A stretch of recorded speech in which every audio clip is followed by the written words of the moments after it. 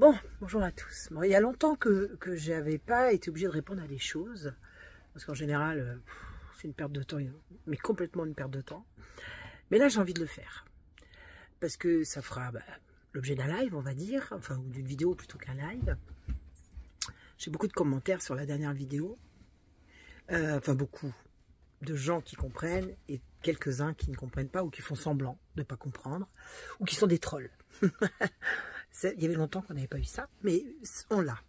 C'est vous dire la division qu'il y a actuellement. Alors vous avez Guy qui me dit, en parlant des militaires, hein, parce qu'on est sur ça, ils ont le devoir premier de protéger la population et, par ce devoir, savoir reconnaître qui est le vrai, véritable ennemi à abattre. Alors, ce monsieur me dit qu'il a, si je ne me trompe pas, hein, 70 ans, non, peut-être pas. Peut-être je dis euh, une bêtise. Je ne veux pas dire son âge, il ne l'a pas mis, c'est un autre commentaire. Il y en a, eu quelques-uns. Euh, ça me fait rire de lire ce commentaire parce que vous voudriez que des jeunes hommes de 19-20 ans qui ont subi une propagande épouvantable euh, sachent avoir le discernement. Mais vous me faites sourire en fait. Vous avez tous voté pendant des années, d'accord? N'est-ce pas Guy? Vous avez voté pendant des années, non? J'en suis sûr que vous avez voté. Moi, perso, j'ai jamais voté. J'ai jamais rien cru tout ça. Jamais. Il y a très, très, très longtemps. Donc, ces gens qui ont aujourd'hui 70, 60 ans, 80, 50, ont voté. Sans discernement. Et vous voudriez que des jeunes de 19, 20 ans aient du discernement. Alors qu'ils ont subi toute la propagande durant des années à l'école sur des livres d'histoire mensongers. Vous le savez, Guy, que les livres d'histoire sont faux? Tout comme la médecine, tout comme euh, tout ce qu'on vous montre? Est-ce que vous le savez? Parce que si vous ne savez pas, je vais vous le dire, moi. J'ai l'impression qu'il y a plein de choses que vous ne savez pas. Oh, il n'y a pas que vous, je m'en prends pas à vous. Mais en fait, la propagande, elle a toujours existé. Et tout le monde y a cru. Et tout le monde y croit encore. Sur cette planète, vous avez à peu près 20% d'humains. Les autres ne sont pas humains. Oui, parce qu'il faut que je vous dise, Guy, on est dans une matrice artificielle, on est dans une matrice qui est dirigée par des archontes. On est chez eux, on n'est pas chez nous. Ici, c'est pas chez nous. Vous le saviez ou pas? Donc, tous ceux qui me disent, non mais on a quand même le libre arbitre. Ah bon? On a le libre arbitre ici? Mais depuis quand? Non, parce que j'aimerais qu'on me dise, le libre arbitre, on l'a jamais eu. Jamais, ça n'existe pas, libre arbitre. On vous a fait naître dans la famille qu'on voulait, sur le continent qu'on voulait, petit, gros, mince, handicapé. Vous croyez que c'est un accident de la nature? Non, c'est pas un accident de la nature. C'est un désir de la matrice. Hmm? C'est ça. Et donc, en fait, il euh, n'y a pas de libre arbitre, hein, pour ceux qui le penseraient. Alors, sur les 20% d'humains, c'est-à-dire sur la totalité de la population, il y a 20% de vrais humains, et sur les 20% de vrais humains, à peu près 1%, c'est et là, je suis large. Hein. Là, je vous le dis, je suis très très large. Pour les autres, ils ont des bribes, comme ça. Et ils nous parlent de libre arbitre. Ou alors ils nous parlent aussi des anges, des guides, des tutti quanti. Bref. Alors Guy, je continue vos propos. À peine 5% des 18-25 ans sont pro-Macronie. Alors ça, je ne sais pas comment vous le savez, mais tant mieux, c'est génial si ce que vous dites est réel. Et chaque personne est responsable de ses actes, choix, propos. Il n'est jamais trop tard non plus pour faire marche arrière. Quant à ceux qui continuent à obéir à un tyran, je ne les pleurerai pas, bien que je trouve cela regrettable qu'un homme soit à ce point manipulable. Ne l'avez-vous jamais été? Bref, donc, en vérité, vous nous dites que tous ces jeunes hommes qui vont partir à l'armée, dans la guerre, alors certains rentreront peut-être en résistance. Alors si on a la même résistance qu'en 39-40, on est mal. Hein on est mal parce que vous avez vu, euh, la résistance, elle existait à la fin de la guerre. Au début, euh, que chic. Hein. Ah ben oui, oui. Après, ils se disaient tous résistants. Un peu comme aujourd'hui, tu vois. Un peu comme aujourd'hui. Donc, ces jeunes hommes vont partir parce que ben, apparemment ils sont contents de partir, hein, donc euh, voilà, et qu'ils n'utilisent pas leur libre arbitre. Vous avez, c'est ce que les gens disent en général. Et vous pensez qu'il se passera quoi après? Non, parce qu'il faut penser à la suite. C'est-à-dire qu'à la suite de ça, si on veut, il y a des lois qui viennent d'être passées là, on peut tout réquisitionner demain. Vous croyez que c'est pour les militaires? Ou vous pensez que c'est pour les civils? Non, parce que je vous pose la question. Dites-vous bien que demain, quand on viendra chercher votre petit-fils ou votre fils, ce sera trop tard pour entrer dans le maquis. Si même il a la velléité de penser à rentrer dans le maquis d'ailleurs. Parce que si ça se trouve, il est complètement endormi encore. Hein? Non? Alors je m'adresse à vous, Guy. Je ne vais pas vous stigmatiser parce que beaucoup pensent comme vous aujourd'hui. Donc je vous le dis à vous tous. Demain, on viendra chez vous chercher vos gamins. Puis après, quand on n'aura plus de jeunes, on prendra les moins jeunes, jusqu'au moins moins jeunes. Vous savez, c'est comme ça que ça marche. Tous les textes de loi qu'ils ont pendus pour la réquisition, là, vous croyez que c'est pour qui? Pour qui? Et là, qu'est-ce qu'on fera? On dira Ah bah tant pis pour eux, hein Ils ont qu'à avoir le libre arbitre, hein Ben oui, c'est ce que vous allez dire. Donc réfléchissez à ce que vous racontez comme, comme ânerie. Tous. Oui, réfléchissez parce que c'est quand même hyper important de comprendre ça. Et Guy, vous me dites, Corinne, vous êtes très respectueux, hein, cela dit. Chacun a le droit de penser ce qu'il veut tant qu'il est prêt à l'assumer et éventuellement à changer d'avis. Eh ben moi, j'assume totalement mes choix de tout ce que je dis. Donc, vous avez raison. D'ailleurs, j'ai laissé passer votre commentaire, Guy. Vous avez été très respectueux. Mais je ne pense pas effectivement du tout la même chose que vous. Je viens de vous en faire la démonstration. Et je suis très loin de vous avoir tout dit ce que je pensais. D'autres m'ont dit, choqués, parce que j'ai dit, ici c'est ma page, et je fais ce que je veux. C'est un commentaire auquel j'ai répondu. Vous pouvez tout regarder, hein, tout, est dans la page. Hein. Et la dame m'a répondu, j'espère que vous plaisantez. Non, madame, je ne plaisante pas. YouTube ne m'appartient pas, comme vous me l'avez dit. m'avez dit, mais YouTube ne vous appartient pas. Mais cette page, oui. Et mon nom aussi, parce que je l'ai acheté. Parce que j'ai eu tellement d'attaques que j'ai acheté mon nom. Cela dit, quand je suis sur ma page, je dis ce que je veux, tel que je l'entends, et surtout, je dis comme je le pense. Ça, c'est quand même important. Et de surcroît, je n'ai pas demandé un centime à quiconque. Jamais. Donc, je m'octroie le droit de dire ce que je veux, ce que je pense et comme je le pense. Et si les gens sont choqués de ça, il y a un truc que je ne comprends pas qu'il faudrait qu'on m'explique, c'est pourquoi vous restez. Vraiment. Parce que je vais vous expliquer quelque chose. J'ai eu une page Facebook, il y a des années, on me l'a volée, 47 000 abonnés. Vous savez ce que j'ai fait? Je l'ai reconstruit. Je suis reparti de zéro, et puis quand j'ai eu à peu près 45 000 abonnés, Facebook me censurait tellement que j'en ai eu ras-le-bol et que je l'ai supprimé. C'est-à-dire un jour j'ai fait supprimer avec 45 000 abonnés. C'est vous dire comme je m'en fous des abonnés. Si vous voulez bien voir ce que je vais vous dire. Et puis, j'ai rouvert une page YouTube, celle que vous connaissez actuellement. à l'époque, j'ai subi toutes les censures possibles. Encore aujourd'hui, hein. on m'enlève des commentaires, je ne reçois pas des mails. Mais ça, vous en foutez, ça n'a aucun intérêt pour vous. Vous, ce qui vous intéresse, c'est commenter, exister, commenter. Je suis pas d'accord avec vous. Mais alors, il y a un truc que je comprends pas. Pourquoi vous n'ouvrez pas votre chaîne? Pourquoi vous dites pas, mais exister en liberté raconte n'importe quoi Pourquoi vous ne faites pas ça? Vous avez le droit vous serez sur votre chaîne. Et je peux vous garantir d'une chose, c'est que jamais vous verrez un commentaire de ma part. Parce que je m'en fous. Parce que je suis dans ce que je dois faire, ce que je dois dire, ce que je ressens comme tel, en étant en vérité avec moi-même. Et que derrière ça, ben, on peut échanger, mais venir me dire on a le libre arbitre, euh, c'est pas grave s'il meurt, on s'en fout, ça me fait vomir. Vous voyez? Donc à partir de là, étant chez moi, les gens qui me font vomir, je les mets dehors. Vous comprenez? Les gens qui sont méchants, bêtes, stupides, et qui racontent n'importe quoi n'ayant aucune connaissance de l'histoire, de la vraie, pas de la fausse qu'on vous raconte, ne m'intéressent pas. Donc j'aimerais que ce soit acté pour tout le monde. Si vous n'êtes pas d'accord avec moi, vous en avez parfaitement le droit. Mais venir polémiquer sur ma page, eh ben ça m'intéresse pas. Parce qu'encore une fois, je vous le redis, je ne cherche aucun abonné. Et vous savez, fut un temps, grâce à mes modérateurs, je ne l'ai pas fait, je voulais enlever tous les commentaires.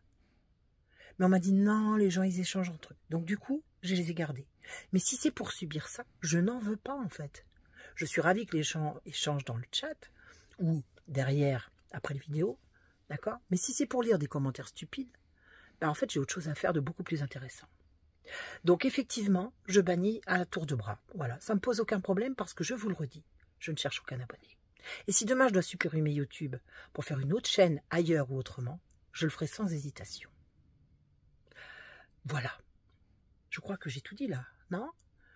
Donc, ah oui, si, il faut que je réponde. Il y en a un qui m'a dit, euh, j'ai plus son nom, je vais pas rechercher dans les commentaires, il m'a dit ah mais moi je suis resté dix ans à l'armée euh, avec en étant euh, il était dans les dans, les bureaux je crois donc déjà paye ton armée Euh, et j'ai pu partir quand je voulais. Oui, oui, bah oui, au bout de dix ans, c'est normal. Ce qui est important de comprendre, c'est que les deux premières années qu'on forme ces militaires, ils doivent des années à l'armée pour leur formation. Et seul un ministre peut décider si oui ou non il peut partir. Sinon, il devient un déserteur. D'accord Donc, il se peut évidemment que certains aient pu partir, il se peut que certains aient fait ce qu'on appelle des OPEX, et quand les OPEX, ils reviennent et qu'ils ont été blessés ou malades, oui, c'est plus facile de partir. Bref, il y a plein de cas. Ce n'est pas la majorité des cas, ça ne se passe pas comme ça. Premier point.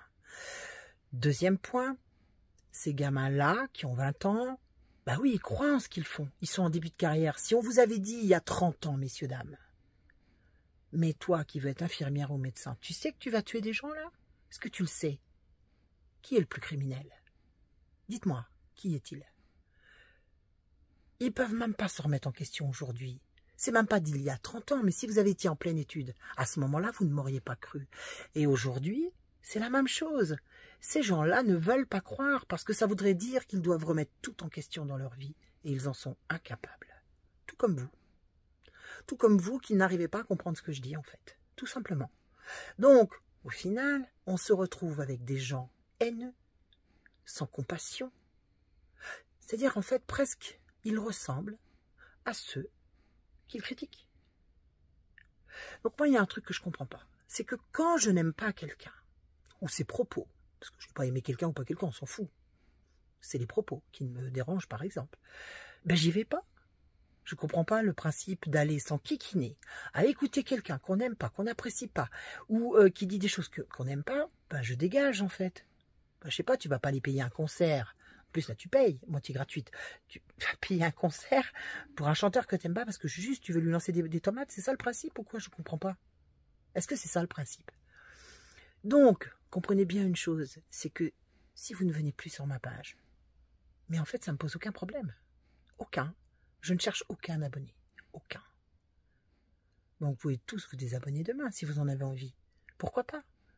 Vous savez, pendant 12 ans, je n'ai subi que ça. Donc, ça va pas me déranger si demain on vient dire existe en liberté, elle est ici, elle est là. Je m'en moque. Ça n'a. Mais vraiment, ça ne me touche nullement, en fait. Il faut que vous compreniez ça. Donc, aujourd'hui, il est important de comprendre que ces militaires qui vont partir, c'est très difficile pour eux de démissionner, je le redis, parce qu'il y a des lois et des règles. Tiens, parlons des lois d'ailleurs. Ça, ça me fait rire aussi. Je vais vous parler des lois. Aujourd'hui, vous avez le code pénal et le code civil, qui normalement surplombent toutes les lois. Eh ben non. Maintenant, vous avez le code des banques, le code des assurances, le code de la sécu, le code de ci. Vous vous en êtes aperçu? Vous vous êtes déjà demandé pourquoi on faisait ça? Ben, c'est pour, euh, c'est pour rouler les gens dans la farine. Mais qui s'est opposé à ça? Qui en a jamais parlé? Mais personne, ou très peu de gens. Et vous continuez de croire à tout ça? En fait, les gens m'expliquent à moi, qui suis dans une désobéissance quand même assez importante, je peux vous le dire, que je n'aurais pas compris. Alors que la plupart, vous avez tous voté. Que d'autres s'apprêtent à voter pour l'Europe, je tiens à le préciser quand même. Hein. Ou me parle d'Asselineau ou de Tutti Quanti. Mais attendez, mordu d'un chien ou mordu d'une chienne, vous êtes mordu quand même, non?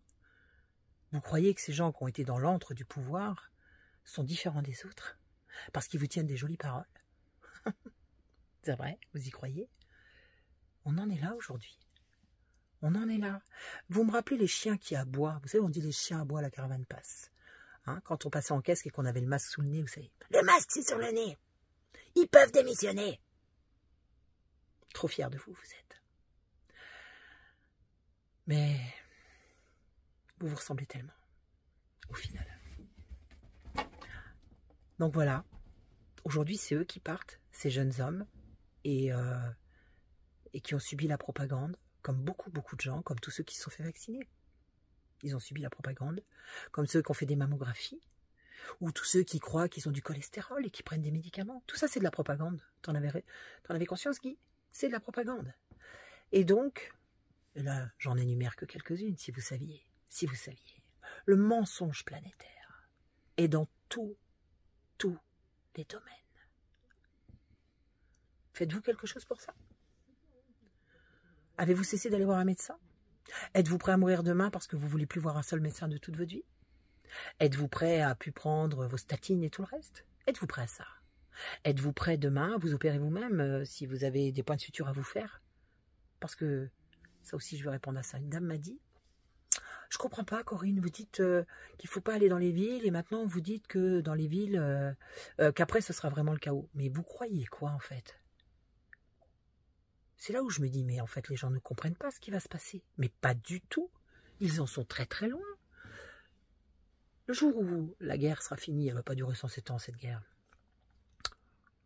on va vous dire, bon, bah maintenant il faut rejoindre les villes, hein, parce que c'est dangereux. Donc je ne sais pas comment ils vont s'y prendre, mais ça, ils vont, réussir. Les villes, ça se construit à mort, je ne sais pas si vous avez vu. Les agriculteurs vont tous mourir, c'est le but du jeu.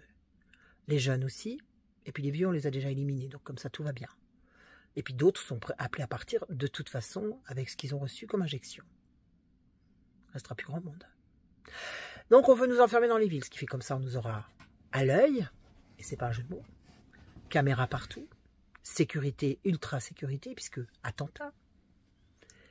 Les autres, ceux qui désobéissent, voudront rester dans leur campagne.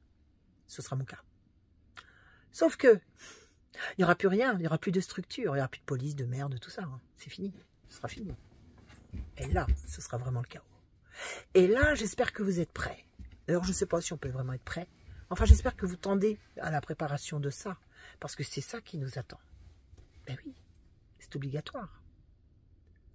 D'abord, on vous épasse le cerveau, on vous injecte des choses, on vous relie à la machine, et tous ceux qui resteront dehors, en dehors de la machine, ceux-là seront pourchassés.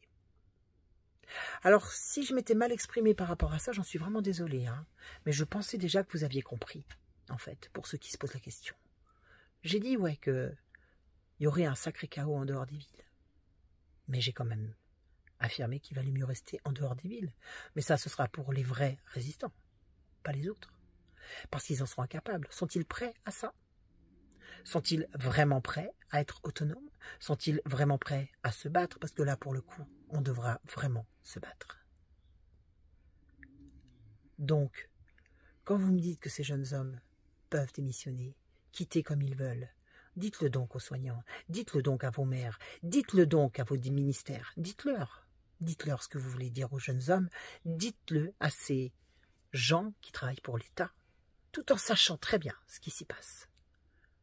Et ils n'ont pas 20 ans. Ils ont 50, 70 ans. Mais Ça intéresse tout le monde, n'est-ce pas?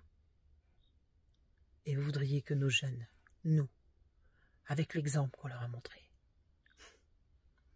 sachent ce qui se passe, n'est-ce pas? Voilà. Donc j'ai pas pour habitude de répondre aux commentaires, mais là ça m'échauffe un tout petit peu en fait, pour tout vous dire, et c'est un petit peu agaçant. Donc du coup, qu'est-ce qui se passe? Ben on se dit que là ça va, ça va s'arrêter. Hein c'est-à-dire que je vais bannir, je vais même plus manquer. Parce que j'ai autre chose, figurez-vous aussi une chose, c'est que j'ai beaucoup de rendez-vous, je suis un petit peu débordée, préparer des lives, faire des recherches, ça prend beaucoup de temps, j'ai jamais demandé un centime à personne, ça je le précise grandement, ce qui me donne encore plus de liberté. Eh ouais, c'est ça la non-corruption, c'est que quand tu peux pas être corrompu, ça te donne beaucoup beaucoup de liberté, de parole. Voilà. Donc du coup, euh, j'ai pas de temps à perdre avec les commentaires. Ça m'enquiquine. J'ai pas envie de répondre parce que c'est une polémique à n'en plus finir, surtout quand on est avec euh, des gens de mauvaise foi. Donc voilà, ça vous plaît pas, euh, bah, passez votre chemin. Je sais pas moi quand j'aime pas un truc, je veux dire quand j'aime pas un spectacle par exemple, je vais pas y aller pour lancer des tomates. C'est ça le, enfin je veux dire, c'est un peu ce que vous faites quoi. C'est un peu stupide. Je veux mangez-les les tomates. En ce moment elles sont très chères, donc mangez-les, c'est mieux, c'est plus intelligent. Voilà. Bon, bah, j'espère que je me suis bien fait comprendre cette fois. J'espère qu'il y aura plus de polémique par rapport à ça. Et puis, ça m'a permis d'expliquer pas mal de choses, moi, je pense, sur ce qui s'en vient quand même, faut en être conscient, parce que demain, c'est chez vous qu'on viendra. Hein bah, c'est ce qui s'est passé en 39-40, en 14, enfin voilà, c'est ce qui s'est passé. On est venu chercher les gens chez eux. C'était comme ça. Et euh, les résistants dans le maquis, on est venu les chercher, on les a tués aussi. Parce qu'ils ont été dénoncés par les collabos, les mêmes pour le masque, tu sais, qui te disaient remets ton masque sur le nez. C'est les mêmes.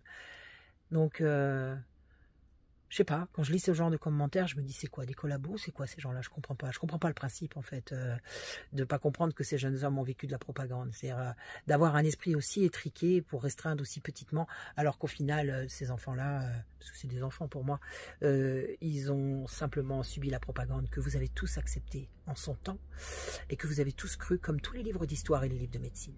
Alors laissez-moi rire, d'accord? Vos leçons de morale, gardez-les pour vous. Et c'est pas une leçon de morale que je fais, hein je remets les pendules à l'heure. J'aime bien, ça y remettre l'église au milieu du visage. Que chacun prenne ses responsabilités. Parce que moi, je les prends. Et puis pour ceux qui ont envie d'ouvrir une page pour critiquer c'était en liberté, faites-le. Parce que je trouve ça bien. C'est enfin, démocratique en plus. Euh, n'hésitez pas à mettre vos noms, vos visages. Là, on verra qui est résistant. Ok. Je vous remercie. Et vive la résistance.